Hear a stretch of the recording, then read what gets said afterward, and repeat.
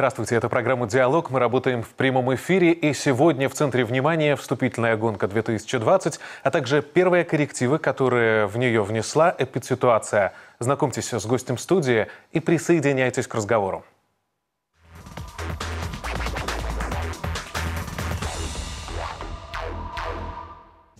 Владимир Иванович Глазунов, начальник регионального центра тестирования и профессиональной ориентации учащейся молодежи. Окончил Белорусский институт инженеров железнодорожного транспорта. С 1981 по 2002 год ассистент, старший преподаватель кафедры техническая механика Гомельского государственного технического университета имени Павла Осиповича Сухова. В 1999 году назначен ответственным за проведение централизованного тестирования. Принимал участие в становлении системы ЦТ в Беларуси в подготовке документации по открытию региональных центров тестирования. В 2002 году возглавил центр, созданный в ГГТУ. Подготовил более 20 научно-методических публикаций. Член коллегии Главного управления образования Гомельского облсполкома. Награжден нагрудным знаком Министерства образования Республики Беларусь «Выдатник адукации». Задать вопросы Владимиру Глазунову можно прямо сейчас, позвонив по номеру телефона в Гомеле 340 043. Сообщение можно отправить в Viber номер плюс 375 29 340 043 3.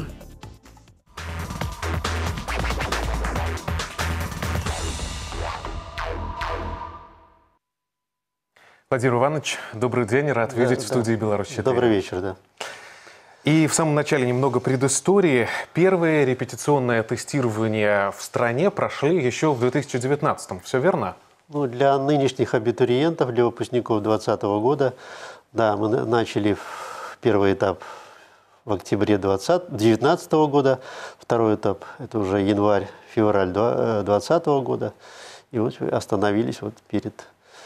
Начали третий этап, в общем-то, в марте В который месяце. пришлось э, внести некоторые коррективы, об этом еще поговорим. Вот, чтобы было понятно, цена а, пробного тестирования 7 рублей. Ограничения по количеству попыток имеются? Ну, репетиционное тестирование – это тестирование по желанию, поэтому абитуриент может сдавать столько предметов, сколько он захочет. В принципе, нет ограничений, конечно. А если э, к рекомендациям э, хотя бы несколько раз э, стоит попробовать и для чего? Ну, вопрос э, репетиционного тестирования, вернее, цель репетиционного тестирования – это, в принципе, дать возможность нашим абитуриентам почувствовать, ну, хотя бы приблизительно вот эту ситуацию, которая в дальнейшем будет на централизованном тестировании. Поэтому, чем больше человек тренируется, тем больше, больше так сказать, у него уверенности, чем лучше, тем лучше узнает уже эту процедуру, и тогда, э, когда он приходит на централизованное тестирование, у него, в общем-то, некоторые навыки уже фактически до автоматизма отработаны. Можно ли уже по итогам 2019 и части 2020 как-то судить о уровне знаний абитуриентов? Владеете ли какой-то аналитикой, аналитикой по итогам репетиционных тестов? Э, нет, уже несколько лет, в принципе, абитуриент получает э, лично свои результаты – в общем-то, поэтому как наши абитуриенты сдают репетиционное тестирование, мы не знаем. Уважаемые друзья, я напомню, телефон прямого эфира в Гомеле 340-043. Свои сообщения можно отправить и в Viber.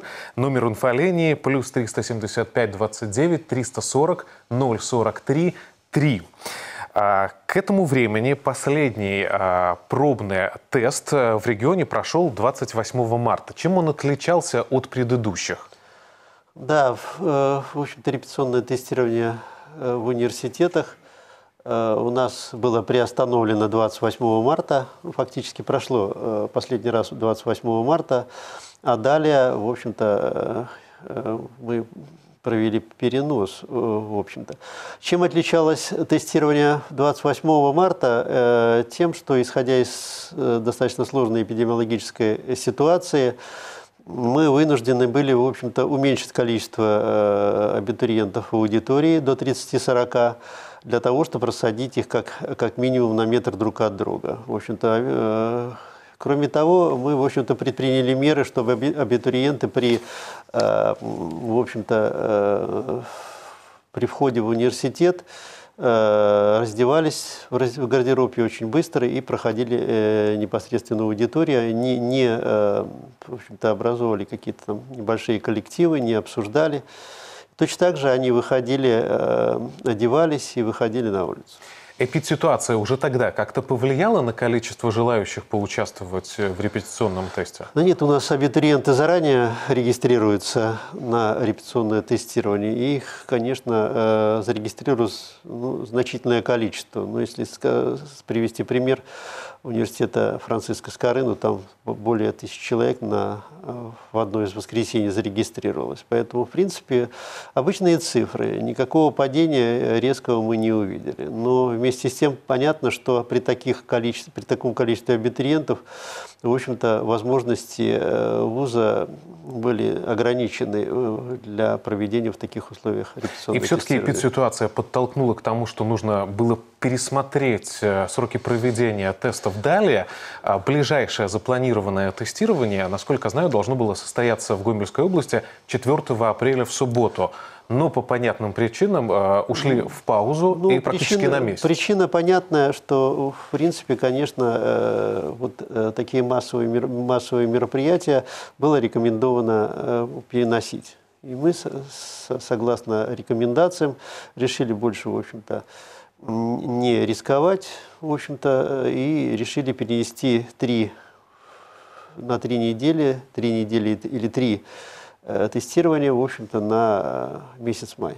Я так понимаю, люди э, оплатили деньги, и наверняка и сейчас поступают вопросы, а как быть, не сгорит ли сумма, успели ли всех оповестить о том, что четвертого отмена? В принципе, эм, регистрация на репетиционное тестирование у нас, в общем-то, уже целый год централизована. Э, Республиканским э, институтом контроля знаний. То есть абитуриент заводит личный кабинет на сайте Республиканского института контроля знаний, там регистрируется, и, в общем-то, в принципе, там у него и расписание, там он выбирает предметы, там он выбирает э, вуз. Там и информацию должен Да, получить. и эту информацию, в общем-то, ему должен был досылать Республиканский институт контроля знаний в виде рассылки на электронные адреса. Говоря про сумму, которая оплачена, э, можно ли полагать, что она э, останется э, сохранной? Ну, если, в принципе, все-таки кто-то не получил еще, хотя мы и по телефону, конечно, консультировали много наших абитуриентов, я хочу сказать следующий порядок. То есть регистрация, предположим, на 4 апреля, 5 апреля, 12 апреля, 17 апреля, она отменена. И вузы, в общем-то, после этого выставили уже новое расписание на, э, на майские дни до 24 включительно мая. Это одно из воскресений мая. И поэтому теперь абитуриент, в общем-то, исходя из своих пожеланий, в общем-то, может вот в автомате, там, предположим, на первое воскресенье зарегистрироваться, может быть, на следующее, а может быть и на 24 мая. Это все его, его желание и сможет воспользоваться оплаченной суммой. Ну, естественно, конечно. Деньги сразу становятся... Э, то есть там есть такое понятие «свободная оплата». Как только отменяет он регистрацию, да он сам отменяет регистрацию, и сразу у него появляется свободная оплата. Это значит те деньги, которые он может вновь использовать. Владимир Иванович, говоря о сроках проведения самого ЦТ, пока все без изменений? Да, пока, в общем-то, в принципе, ничего не поменялось. То есть мы в начале июня Э, начинаем, планируем начинать централизованное тестирование. Впрочем, как и правила э, проведения вступительной кампании э, без изменений. Ну и также, соответственно, пока не меняются и правила приема документов, и правила зачисления, и сроки зачисления, пока без изменений. Тем временем мои коллеги побывали в самом крупном пункте централизованного тестирования в Гомельской области. Отсюда и репортаж а, по подготовке к ЦТ. Буквально через несколько минут вернемся в студию и продолжим.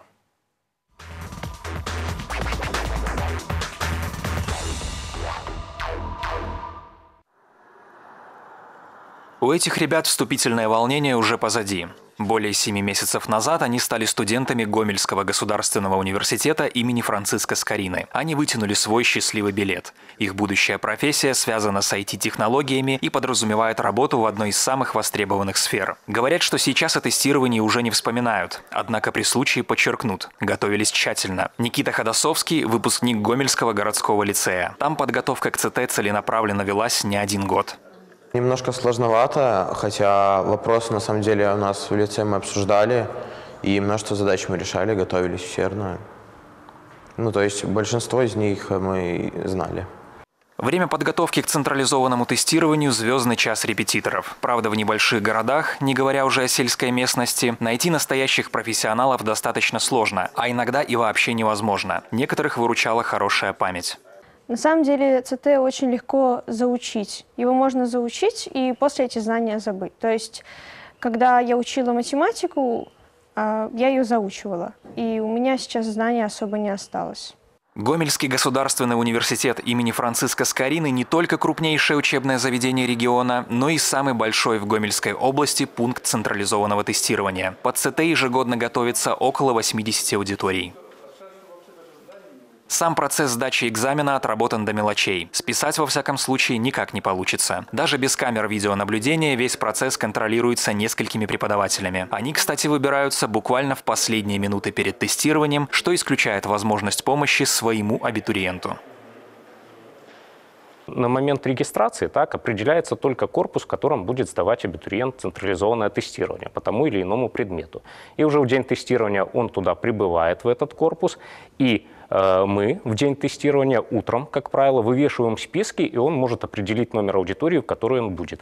А списки формируются случайным образом накануне тестирования. Компьютерная система путем вот э, случайных воздействий на списки абитуриентов перетасовывает их по аудиториям. То есть заблаговременно предусмотреть, в какой аудитории внутри корпуса он будет проходить тестирование, просто невозможно. У каждой аудитории работает как минимум три организатора. И организаторы, наши преподаватели университета, они также не знают, в каких аудиториях они будут работать. Так? Но там жеребьевка идет и по корпусам, по аудиториям. Никто не знает, кто будет руководителем, кто будет организатором в аудитории. Это делается, ну, жеребьевка, так, вот, в присутствии представителя комиссии по контролю так вот, и тоже делается вот накануне тестирования. Мы начинаем запускать абитуриентов в 9.30 утра в корпуса, так вот, а жеребьевка организаторов, преподавателей проходит где-то в 8-8.15.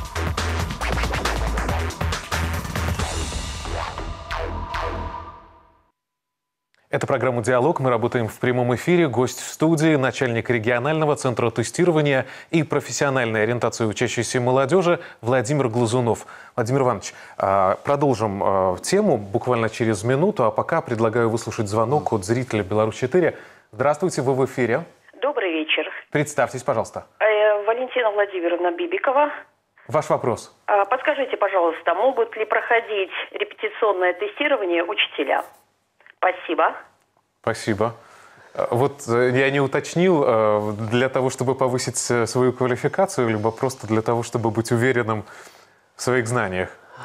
Ну, да, учителя, конечно, могут проходить, они и приходят проходить. Ну, тут есть разные, наверное, интересы у учителей. И просто-напросто посмотреть эту всю процедуру потом, чтобы работать более эффективно с учениками. А может быть, просто потом заниматься э, дополнительной э, подготовкой, так репетиторством э, с учениками. Я хочу сказать, кроме э, учителей к нам приходят и родители иногда, и даже на централизованное тестирование приходят родители, чтобы поддержать своих детей. Ну, в общем-то, законом это, скажем так, не возбраняется, поэтому... Возрастных ограничений нет? Нет, конечно. У нас абитуриент, ну, видите, есть студенты в 60 с лишним лет в общем-то, в принципе, поэтому могут поступать. Спасибо большое и за вопрос, и за ответ. Ну а мы продолжаем. Владимир Иванович, если говорить про централизованное тестирование, его результаты, результаты последних нескольких лет, а, как можно отследить уровень знаний абитуриентов? Ну, я бы говорил здесь, э, наверное, уточнил бы здесь и говорил бы об уровне подготовки к централизованному тестированию наших абитуриентов. В общем-то, Э, и если говорить об этом критерии, то, наверное, здесь э, хотелось бы сказать о месте э, нашей области, о результате нашей области по централизованному тестированию среди других областей. И я хочу отметить, что последние два года наша область, в принципе, уверенно занимает первое место по результатам централизованного тестирования, обогнав в том числе и город Минск. То есть это говорит, что, э, в общем-то, уровень наш э, подготовки увеличивается, то есть растет. В общем-то, это достаточно э, приличный результат. Мы, в общем-то, гордимся этим результатом. Это результат и наших учеников, и наших, естественно, педагогов. Всегда интересны контрасты. Как много стубальников за последние несколько лет? Ну, понимаете, стубальник, он, в общем-то, конечно, картину улучшает, в принципе, но не так сильно, как нам э, хотелось бы. Почему? Потому что их, конечно, не так много. То есть вот у нас в прошлом году было 44 ступальника, позапрошлом году у нас было 52 ступальника. В общем-то, но нужно иметь в виду, что позапрошлом году у нас все-таки сдавало больше абитуриентов, и выпускалось э, у нас больше учащихся, и абитуриентов было немного больше. Хорошо, а количество тех, кто сдал ниже среднего, э, какое, каков процент? Ну, я сейчас, наверное, не готов э, на, эту, э, на этот вопрос в общем-то, ответить, потому что, в принципе, понимаете, изменилась немножко система, ну не немножко, кардинально изменилась система оценивания на централизованном тестировании. И, естественно, сравнивать позапрошлый год и прошлый год – это уже однозначно некорректно однозначно некорректно. То есть, в общем-то, ниже, ниже среднего э, в позапрошлом году это было, предположим, 15 баллов, ниже среднего в прошлом году это уже могло быть, могло быть и, 40, и 40 баллов, в общем-то, в принципе. Но э, э, то, что, в принципе, наш пик э, результатов, он, э, конечно, э, чуть-чуть ближе все-таки к 50%. Чтобы подвести черту в этой части разговора, несколько советов э, от эксперта с большим опытом, как настроить себя на результат. Я сейчас говорю и про абитуриента, и про родителей, потому что помощь нужна, наверное, и тем, и другим. Неизвестно, кому больше. Ну, мы говорили сейчас много о репетиционном тестировании. Э, и мы уделяем репетиционному тестированию много внимания. Почему? Потому что э, это вот та психологическая, тот психологический настрой, который часто бывает решающим. То есть мы берем двух абитуриентов с хорошей подготовкой, из хорошего, э, достаточно престижного учреждения образования. Один показывает приличный результат, а второй проваливается. И когда мы начинаем выяснять, в чем же причина, а причина вот той психологической подготовки э, в общем-то, вот то, то, тот психологический настрой. И, конечно, здесь крайне важно э, э, и э, скажем так, как родители будут себя вести, как, насколько они будут помогать своему ребенку, в общем-то, вот в этой подготовке, и как они потом, в общем-то, будут с ним общаться по в общем-то, по получению какого-то результата. Плюс возможности э, репетиционного тестирования, они как раз и призваны помочь э, парню или девушке ну, да. психологически в первую очередь Конечно, подготовиться. Да, психологическая готовность ЦТ – это очень важный параметр. Мы всегда видим, э, в общем-то, наблюдаем такие провалы хороших учащихся. Мы должны понимать, что наши хорошие учащиеся – это высокомотивированные учащиеся в основном. И они, э, как, если просто сказать, очень заточены на результат. Понимаете, и любые вот эти вот э, нервные потрясения, в общем-то, результат этот резко снижает принципе. То есть, понятно, есть хорошая подготовка, есть учебная подготовка, и плюс еще в себе уверенность, что ты этот результат, то есть результат можешь получить. Хорошо, а как насчет хитрости? Насколько эффективна ее помощь и поддержка во время испытания? Ну, хитрости, я так понимаю, речь идет о, о каких-то, в общем-то, устройствах для получения информации. Но я вам хочу сказать, э, что принципе, наши абитуриенты, в нашей области абитуриенты ну, достаточно э, добросовестные, так сказать, добросовестные, э, законопослушные. Случаев попыток использования э, запрещенных средств, телефонов, шпаргалок – их минимальное количество. И все-таки? Э, да. Ну, э, здесь можно четко, чет, то есть, э, то есть однозначно нашим абитуриентам сказать, что там, в общем-то, воспользоваться, Классика, прием, прием, первый, воспользоваться, первый, не поможет. предположим, вот этими наушниками, которые сегодня уже совсем миниатюрные, практически невозможно, потому что в аудитории достаточно тихо, преподаватели опытные, вот эти все движения абитуриентов они видят, вот. Ну, попытки были у нас оставлять телефоны там в туалете, потом пытаться выйти. В общем-то. Ну, понимаете, это уходит время драгоценное. Ну, что ты одну задачу, может быть, ты услышишь, ты ее должен передать, ты ее должен получить. Плюс вероятность э, поломать планы как минимум на год. Да, ну, у нас в основном абитуриенты, к сожалению, в общем-то, в принципе, даже не по э, злому умыслу удаляются, а потому что забывают иногда телефоны в карманах, проносят эти телефоны, понимаете, потом эти телефоны звонят или выпадают у них из карманов, мы вынуждены их удалять. Спасибо большое, Владимир Иванович. А сейчас к сообщениям, которые пришли от наших зрителей. Как вам вариант проведения репетиционного тестирования из дома? Вполне было бы востребовано сегодня, интересуется Андрей из Мозыря. Ну, в принципе, репетиционное тестирование из дома – это реальность, которая существует. Республиканский институт контроля знаний бесплатно проводит э, репетицию по всем предметам.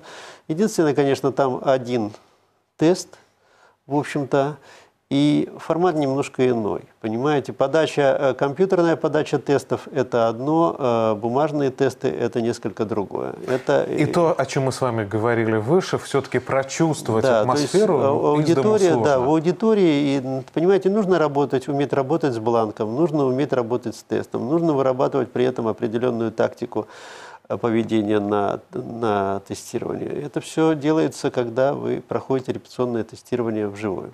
Спасибо большое. Кто и как готовит задание на ЦТ? Можно ли гарантировать и как быть в этом уверенным на 100% справедливость оценки по итогу? По каждому предмету есть авторский коллектив в Республиканском институте контроля знаний. Каждый автор готовит, ну, насколько вот мне помнится, там, если, э, значит, там 10 вариантов, э, по 40 заданий, вот он 400 заданий каждый автор должен подготовить. Потом эти задания, то есть они, э, работают эксперты с этими заданиями, производится их отбор. В принципе, сформируется mm-hmm. такая база по, по, по, в общем-то, по, по одному предмету. Вы можете, если там 3-4 автора, вы можете, э, то есть мы понимаем, сколько заданий они подготовят. Производится эта выборка, в общем-то, и далее, когда готовятся уже тесты непосредственно на э, централизованное тестирование, из этой базы потом производится выборка. Не, это не значит, что авторы поработали и уже отобрали сразу 10 вариантов. Нет. Там есть база, из которой производится выборка на 10 вариантов э, централизованного тестирования. Спасибо большое прошлом году сдавал ЦТ. На мой взгляд, не для среднего ума, пишет э, наш зритель. Как думаете, если провести эксперимент и попробовать сдать, предложить сдать ЦТ педагогам школ, все ли справятся на отлично?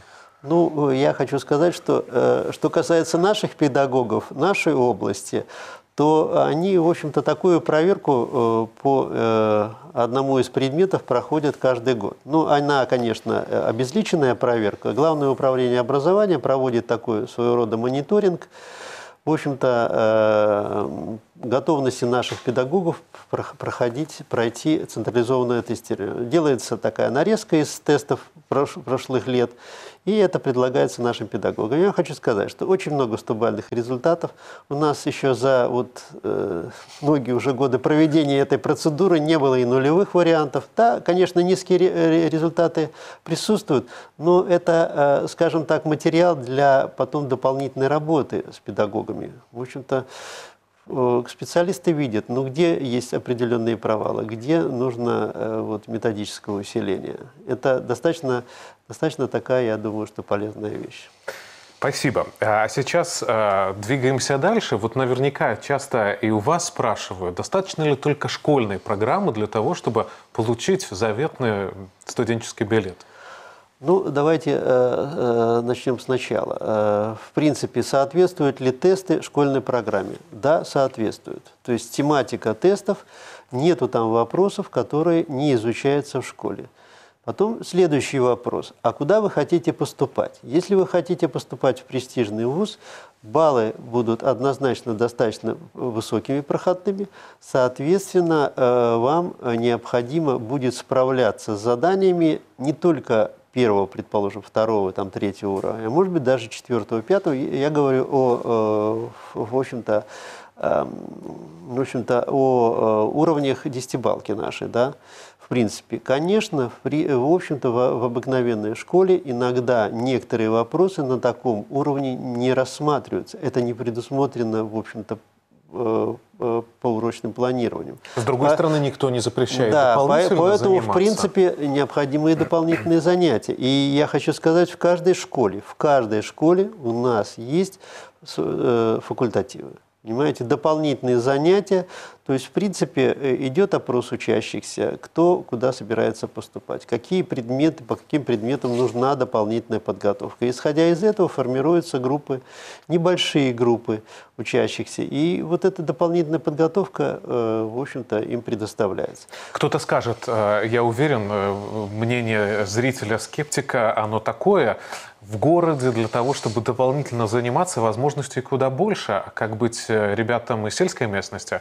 Или здесь все-таки тоже первостепенно желание и стремление? Ну, может быть, э, чисто так сказать, формально, да, есть курсы университетские, в общем-то, э, в принципе, есть еще курсы в каких-то учреждениях, и, может быть, в сельской местности этих курсов, то есть возможности посещать такие курсы у него нет. Но если мы смотрим на результаты, централизованного тестирования прошлых лет, мы, мы видим, что школа, да, школа сельская, она не показала в общем рейтинге там высокого результата, но Э, если посмотреть на баллы, которые получили, э, есть учащиеся с очень-очень высоким, очень приличным баллом по централизованному тестированию. Пример того, что то, да, терпение то есть, и труд, поним, желание Понимаете, то есть, чудеса. в принципе, если у ребенка есть э, мотивация, и у него поставлена достаточно амбициозная высокая цель, то, конечно, он найдет возможность получить эти знания. И, естественно, найдутся, в, в общем-то, в сельской школе педагоги, которые, конечно, будут с ним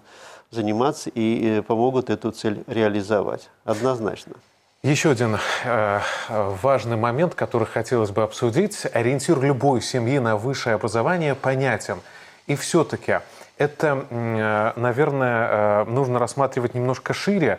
Э, важно понимать, что не о престиже нужно говорить, а о востребованности профессии в будущем. И тем не менее мы видим, что из года в год, несмотря на то, что рынок по некоторым специальностям переполнен, достаточное количество абитуриентов идет в юристы, психологи и так далее. Да, понятие модной специальности, оно э, существовало, существует и будет существовать, в принципе. И, и исходя вот из, э, ну, я не знаю, из, э, наверное, может быть, вот, э, и не стоит это сегодня обсуждать, э, из каких соображений э, родители и абитуриенты выбирают специальности, которые, э, ну, скажем так, не, не всегда, э, в общем-то, потом удовлетворяют их по, по, по самым разным причинам, в том числе заработной плате, возможности э, трудоустроиться, э, социальном статусе в обществе и так далее, и так далее. Но, Проблема менее... может быть в том, что не все, уверен, знают, куда идти и что выбрать. В этой связи насколько э, оттачена работает, отлажена работает система профориентации в регионе? Есть куда обратиться для того, чтобы, э, ну, как минимум, выбрать хотя бы несколько направлений перспективных и полезных? Ну, если э, опустить э, некоторый официоз в организации нашей профориентационной работе, э, я считаю, что э, она на достаточно хорошем системном уровне у нас ведется уже много лет. Мы вместе с управ... главным управлением образования работаем. Я хочу сказать, что, конечно, на сегодняшний день для наших абитуриентов вот, хотя бы даже в информационном плане сделано очень многое для того, чтобы их посвящать э, вот в эти э, профессии, которые мы называем, называем модные. О чем я сегодня говорю? У нас единственный в республике существует профориентацион, областной профориентационный портал – в работе портала участвуют у нас все э, вузы, независимо от их ведомственной принадлежности и их интересов. Кроме этого, в принципе, э, там представлены интересы и, и все системы среднего специального образования, системы профтехобразования.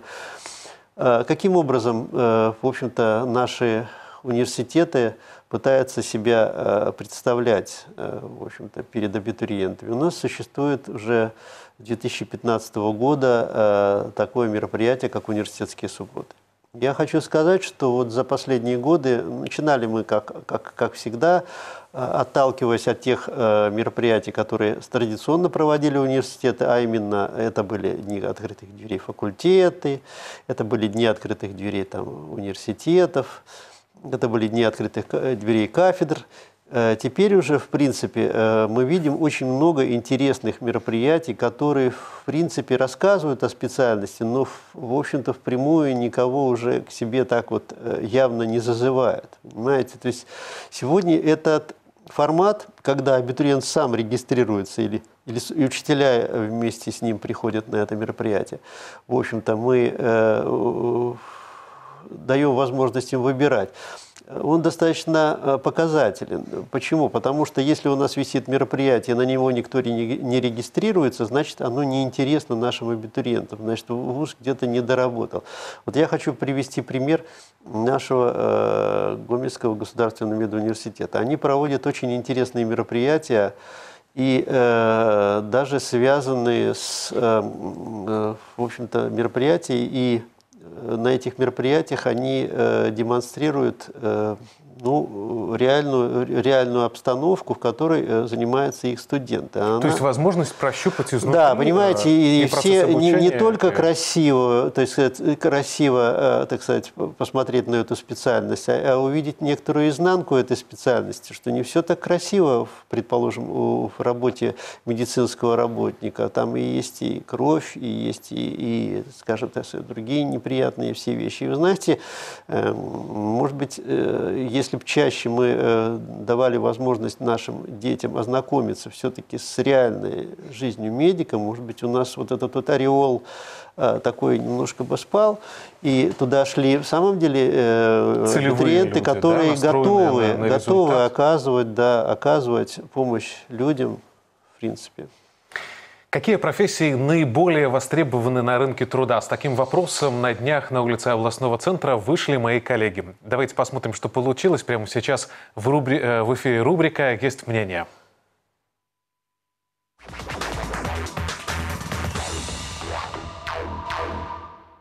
Юрист, адвокат. Почему? Ну, потому что всем нужны эти услуги. Врачи. В связи с эпидситуацией. Мне трудно сказать, я пенсионерка. Мне трудно сказать.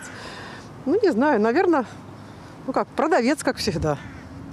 Это в первую очередь, я так считаю. Ну, что еще может быть? Юрист.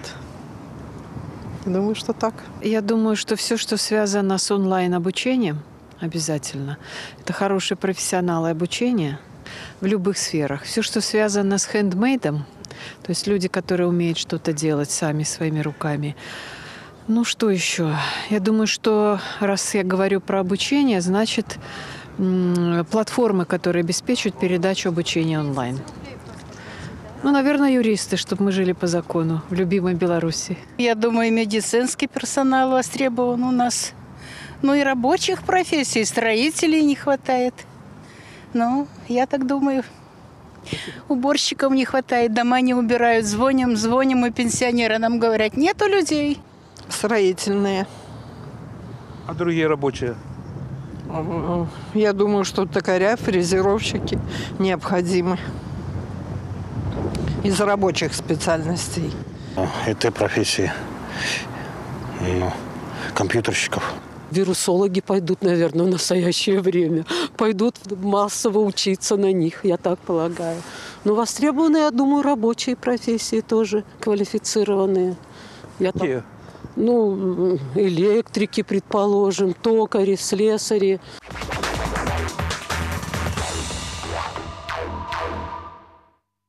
Это программа «Диалог». Мы работаем в прямом эфире. И сегодня гость в студии, начальник регионального центра тестирования и профессиональной ориентации учащейся молодежи Владимир Глазунов.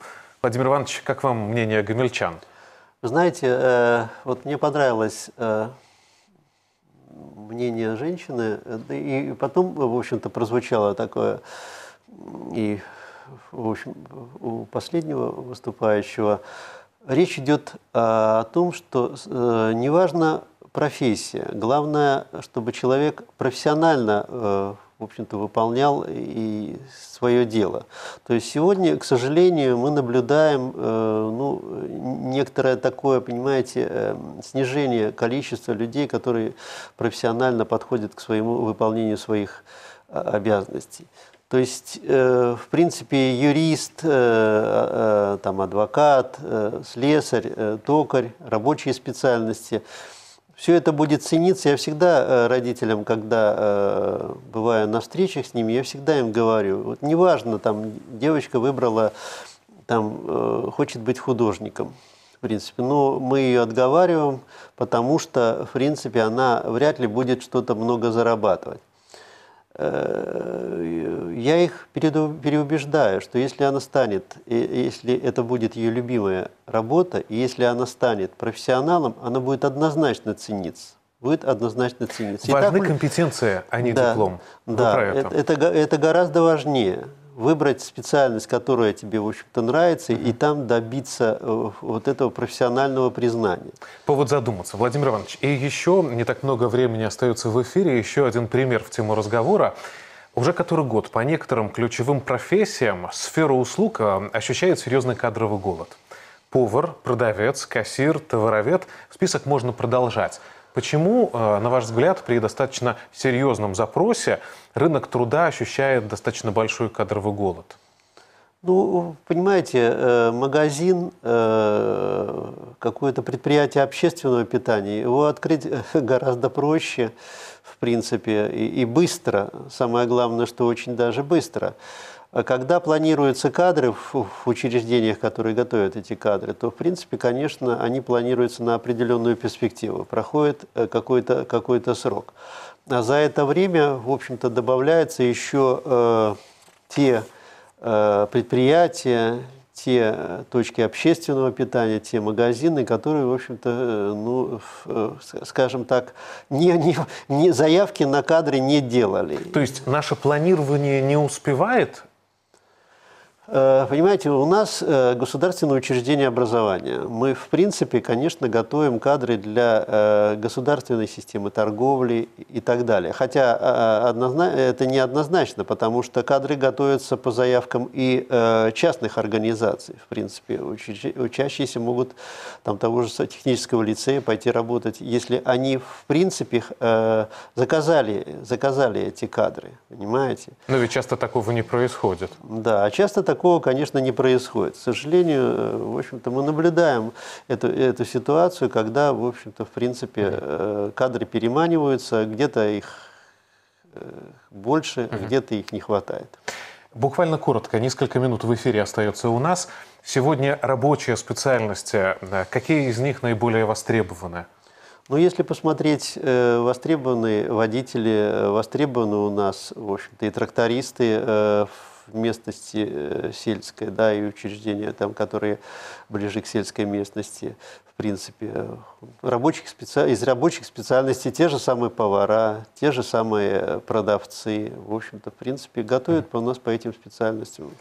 Один из вопросов, который вижу на нашей инфолинии, хочу э, все-таки успеть его озвучить. Владимир Иванович, а вот вы как определились в школьные годы с учебным заведением? Неужели точно знали, куда идти, кем стать? Наверное, наверное, в принципе, скорее, скорее всего, что выбор был не совсем удачен, когда я выбирал университет. Наверное, я в большей степени его... То есть институт тогда железнодорожного транспорта, это был ПИИШТ. В общем-то, ну, мне просто нравилось, в общем-то, э, скажем так, э, транспорт сам по себе. И солидный, солидный в общем-то, был э, институт, не в обиду другим тогдашним институтом и университетом сказано. Хотя, в принципе, видите, то есть проработал я там в этой сфере совершенно немножко и ушел в педагогику. Недаром сегодня тренд во всем мире обучение на протяжении жизни.